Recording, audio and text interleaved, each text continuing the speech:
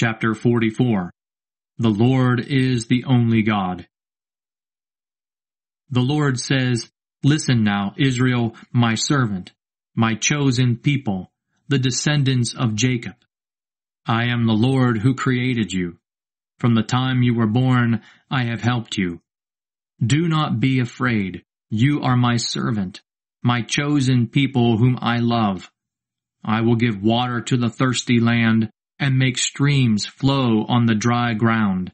I will pour out my spirit on your children and my blessing on your descendants. They will thrive like well-watered grass, like willows by streams of running water. One by one, people will say, I am the Lord's. They will come to join the people of Israel.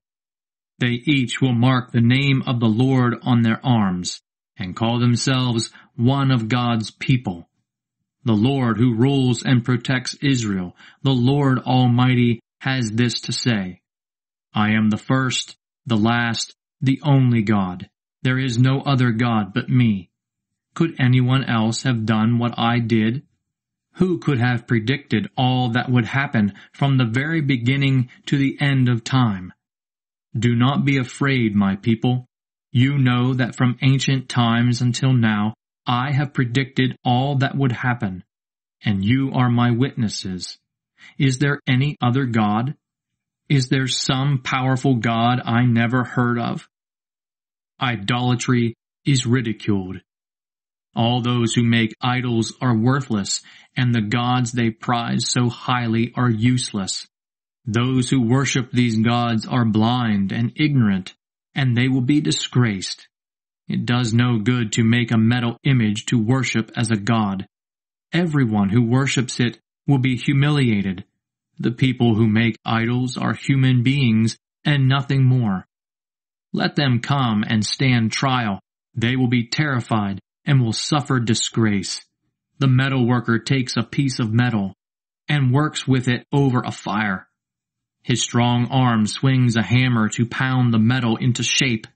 As he works, he gets hungry, thirsty, and tired. The carpenter measures the wood. He outlines a figure with chalk, carves it out with his tools, and makes it in the form of a man, a handsome human figure to be placed in his house.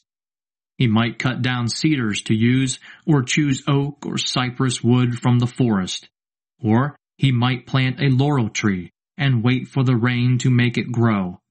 A person uses part of a tree for fuel and part of it for making an idol. With one part he builds a fire to warm himself and bake bread. With the other part he makes a god and worships it. With some of the wood he makes a fire. He roasts meat, eats it, and is satisfied. He warms himself and says, How nice and warm!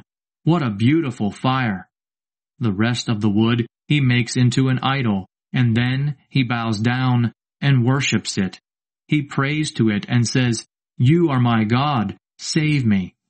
Such people are too stupid to know what they are doing. They close their eyes and their minds to the truth. The maker of idols hasn't the wit or the sense to say, Some of the wood I burned up.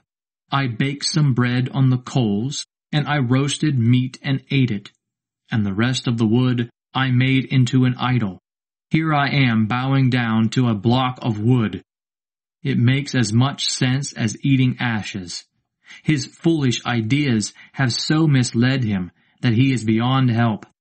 He won't admit to himself that the idol he holds in his hand is not a God at all. The Lord, the Creator and Savior. The Lord says, Israel, remember this. Remember that you are my servant. I created you to be my servant, and I will never forget you. I have swept your sins away like a cloud. Come back to me. I am the one who saves you. Shout for joy, you heavens. Shout, deep places of the earth. Shout for joy, mountains, and every tree of the forest.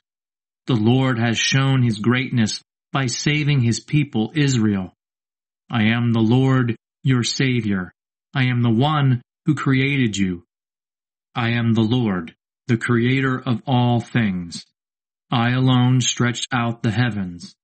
When I made the earth, no one helped me. I make fools of fortune tellers and frustrate the predictions of astrologers.